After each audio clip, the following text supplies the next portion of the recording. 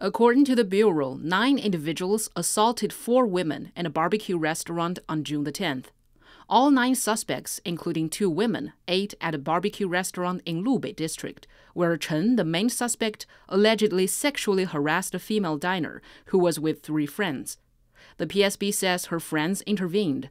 Chen and the other eight suspects then assaulted the women, according to the Bureau. Police were called but did not reach the scene until 28 minutes later.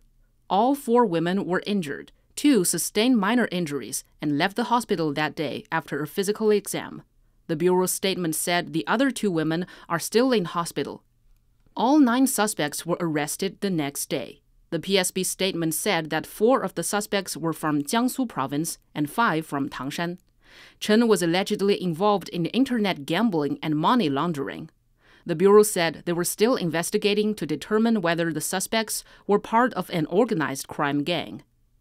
Also, the police officers who responded to the call are being investigated for their slow response time, not following procedures, and other acts.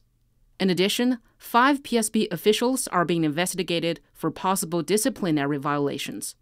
The deputy head of the Public Security Bureau of Lubei District in Tangshan was already fired over the case.